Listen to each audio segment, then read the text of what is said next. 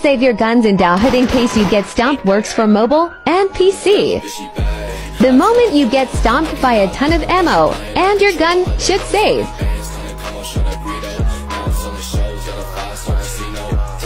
Only works if you buy ammo of the gun you bought. Welcome to Roblox Fact or Cap, where we test if someone stomps you, the gun saves in your inventory.